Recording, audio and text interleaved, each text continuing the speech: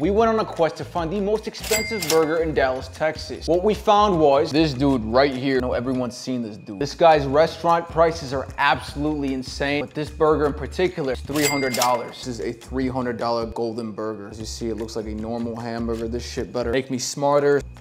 That tastes like a ripoff. Oh, this is what it feels like. What it feels like to be an idiot. If my mom is watching this, she would slap me. I know, know how stupidity looks. It's this right here. You know, the worst thing is it doesn't even taste good. I just want to talk to this dude and ask him how he got people to buy this. This is the biggest ripoff of all time.